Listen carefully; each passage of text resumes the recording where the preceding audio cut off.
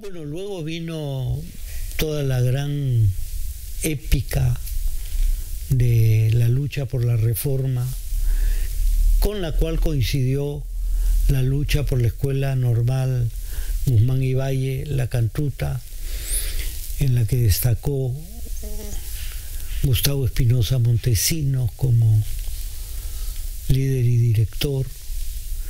En ese momento era rector Luis Alberto Sánchez y era un problema porque Sánchez estaba a favor de la reforma, pero en algunos momentos el APRA ya había mostrado una orientación que no era la orientación de los compañeros apristas jóvenes con los que uno había dialogado. Entonces era complicado. Sin embargo, debo decir que guardo recuerdos muy complicados con respecto a Sánchez, ¿no? Sí, había momentos en que planteaba algunas cosas muy radicales, pero había momentos en que lo que recordaba era su ingenio, su habilidad, su limeñismo punzante, otro personaje también extraordinario en otra textura, don Pepe León Barandiarán, culto, serio, con una capacidad argumentativa extraordinaria y una distracción que de haber sido Lima Hollywood, él hubiera sido el, la inspiración del profesor distraído, ¿no? Este, se olvidaba dónde había estacionado su auto con frecuencia. Este, bueno, y hay otros compañeros ya más metidos en la política, Félix Arias Schreiber, Alfredo Tapia, eh, Héctor Béjar, eh, Hugo Neira, César López Silva, al cual asesinó Sendero Luminoso, eh, en fin, una cantidad de amigos y recuerdos, ¿no? Fue complicado porque vino el momento en que la mayor parte de los profesores de la facultad se fueron a Cayetano Heredia, ¿no?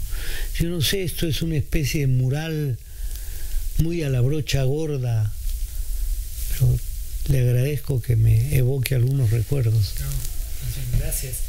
Un poco para profundizar un punto, usted mencionó que San Marcos era un lugar de todas las sangres, todas las etnias. ¿Qué peso tenía el factor étnico? en ese momento habían estudiantes de todo el país que venían, en un punto de encuentro. Eh, ¿Había alguna especie de, de habían eh, roces o algún tipo de desencuentros entre estudiantes de distintas zonas o de distintas procedencias sociales? Eso yo no lo recuerdo, mire, lo que sí sé es que cuando he ido a San Marcos, ahora último, la proporción un poco que ha variado. En esa época, en medicina, había un porcentaje más bien de criollos que de andinos. Ojo, yo sé que hay andinos que son más criollos que los criollos y criollos que son de origen andino. No estoy tratando de hacer una clasificación de científico social.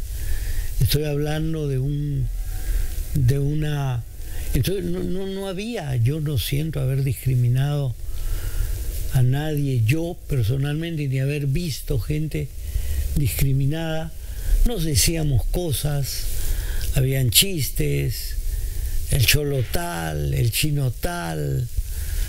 Esto sí, pero yo haber sentido directamente marginación o discriminación, no. Yo sentí que el Perú era eso, esa pluralidad.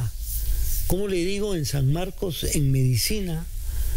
sí, sí, a un predominio de aquello que por comodidad y de repente hasta por prejuicio, estoy llamando criollo, criollo costeño, sabiendo, repito, que hay criollos ah, andinos y, era, era eso, no, no, no, yo de verdad no creo.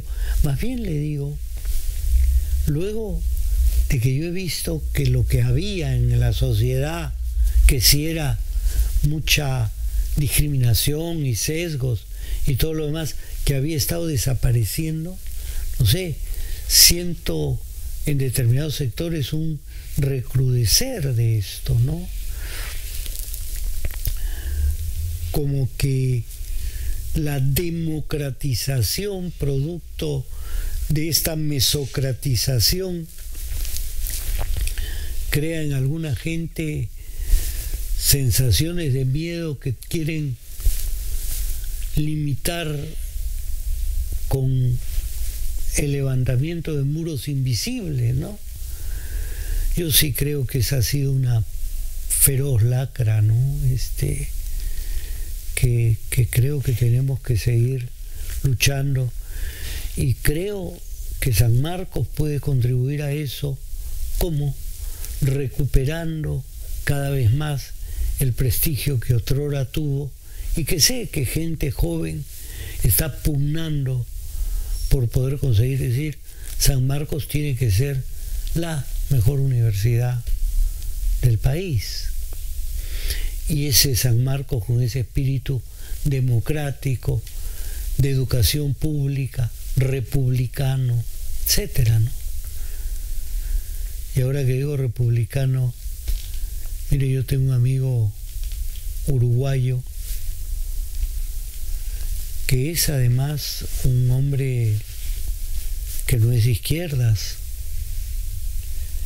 es un hombre más bien de centro, el ex senador Flores, que viene acá a veces invitado por Naciones Unidas, y un día me dijo,